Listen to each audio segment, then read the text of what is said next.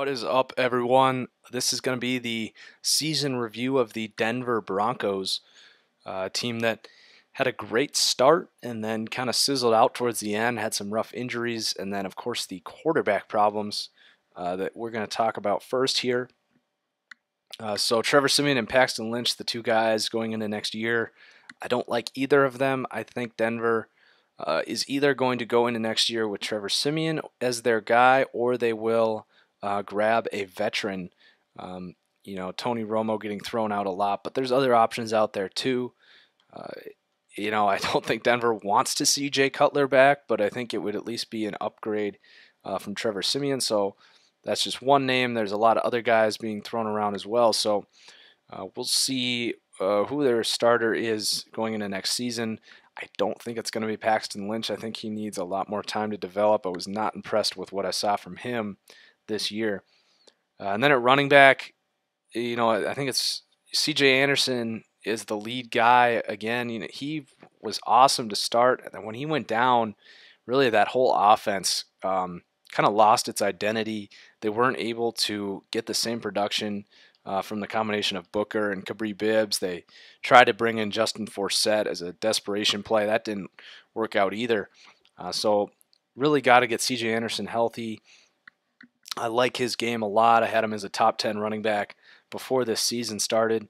Um, not sure if he still sits there or not. That's uh, for another time. Uh, and then onto the receivers. I'm curious what Denver fans think about this. Uh, I really struggle between who should be higher between these two. I think Emmanuel Sanders is the more um, craftier, uh, overall better receiver slightly. I think Demaryius Thomas, his athleticism uh, and his size give him an advantage as well. But um, you know, just two different guys. I have Sanders as an excellent route runner, and I think his catch in traffic, one of the most underrated traits. Madden had it as as a low 90s. I have it as an 88. I think he is the best receiver in the NFL at catching the ball when he knows he's about to get drilled. He's had some crazy impressive catches in traffic, which is by definition what that stat is. Uh, and then Demaryius Thomas, of course, just the speed and size and run after catch ability. And then the, it's also pretty remarkable the drop off after those two.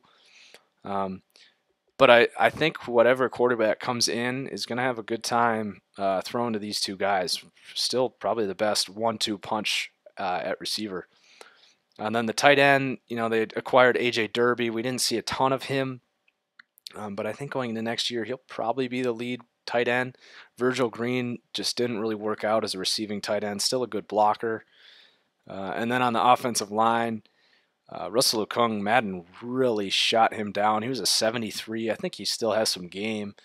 Uh, I think most of the problems on this offensive line, which were well documented, actually came from the right side. Uh, you know, Max Garcia and Matt Paradis should be the starters next season, especially Paradis. Uh, this guy's a stud.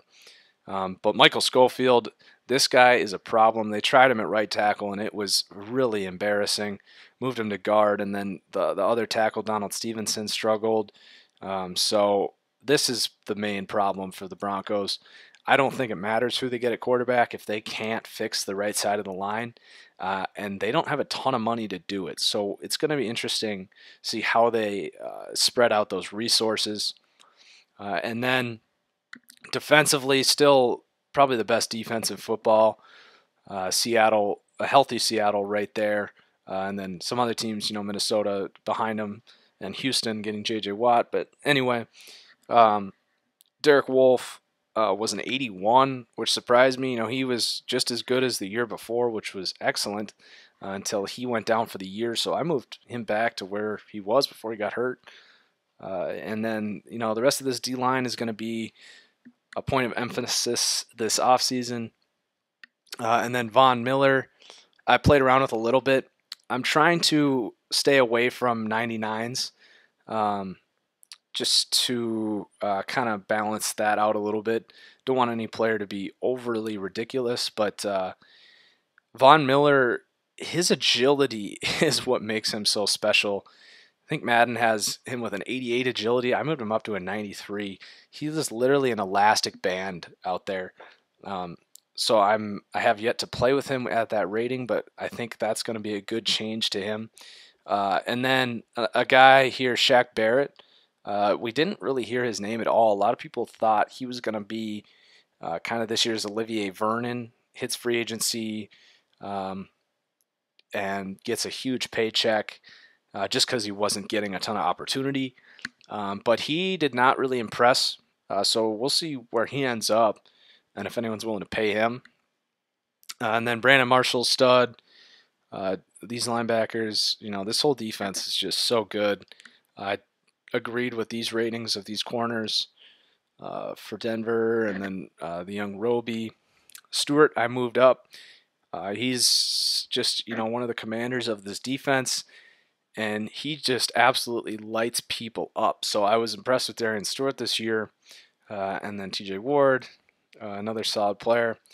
Uh, but as far as a team grade for the Broncos, you know, I give them a B minus. Uh, I think a lot of people were expecting regression with the departure of Peyton Manning, um, but they they really did uh, start strong. When they lost C.J. Anderson, that was very very crippling to this offense, uh, and they just weren't able to uh, have enough consistency on that side of the ball. I think we'll see them dedicate most of their resources to the offense um, this offseason, and I would expect them to be right there with uh, the Super Bowl favorites to start next season.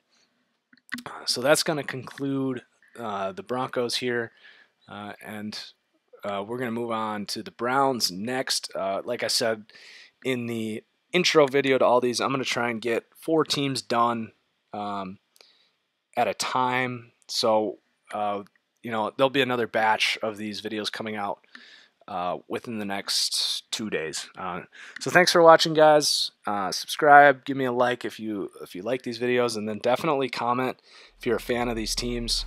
I'd love to hear what you guys think. Um, so thank you and peace out.